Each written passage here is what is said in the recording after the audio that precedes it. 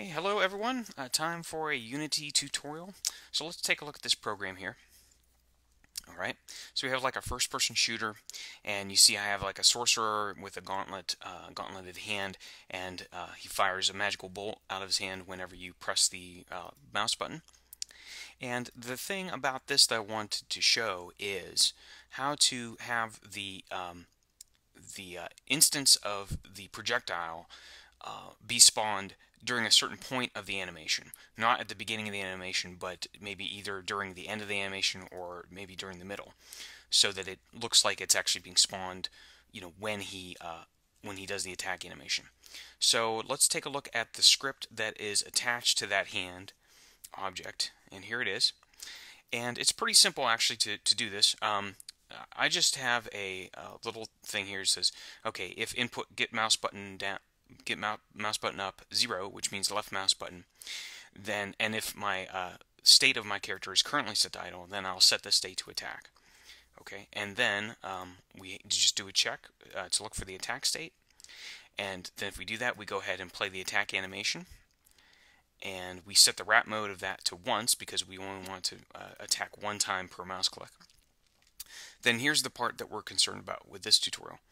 Okay, if animation, and then we give the name of the animation, uh, dot time is greater than or equal to the animation's length, then we can go ahead and instantiate our, our missile object, and then I'll set the state back to idle so that we can reset everything ready to attack again. Okay, so the thing to uh, realize is um, the animation refers to the array of animations that are attached to your object. So if we select this guy here, we'll see here um, I did this in Blender and uh, did a couple animations using the action editor in Blender, which I've shown you in pre previous tutorials how to do. And I have a few different animation takes, and as you can see here, I have an element called attack 1, idle, attack 1, and attack 2. Okay, so you have to reference the name of the animation in order for to Unity to know, you know which one you're referencing and, and what the time frame is. Okay, so in the case of this script, when we get to the end of the animation, uh, then we're going to instantiate it. So let me comment this out and uncomment this. This is a little bit more complex, but this will show you that now I have two checks. I'm saying that if the uh, uh, animation time is greater than 0.5 and less than 0.55, then do this. So basically, let's run this.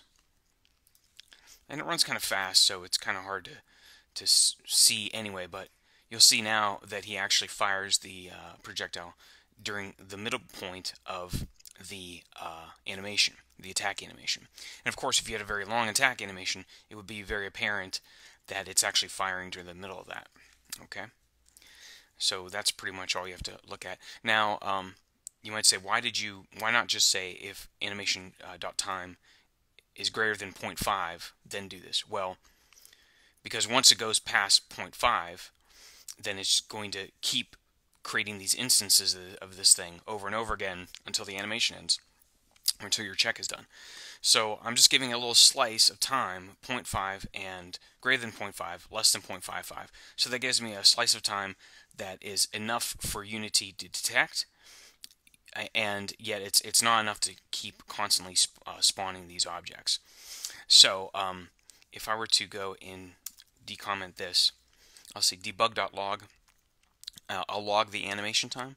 If, if, you don't know, debug.log is a good way to uh, have uh, variables printed out to the console window here, and it's very useful for uh, kind of finding out uh, how things are going on in your, uh, you know, what what's going on. I just use it all the time to help me find out any errors in my scripts and stuff. So now, when I press this, you're going to see the time of the animation, the attack animation, be displayed by the console window. So I'll click that. I'll quickly stop that. Okay, so you can see the times every frame.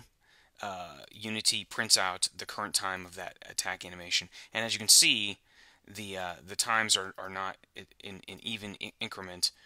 Um, so it's just based on whenever the uh, you know the frame rate um, is going. So um, it's kind of difficult to say just, for example, if you just said if time equals 0.5, uh, you know, you might not get that exact uh, um, that exact number from the uh, scripting engine.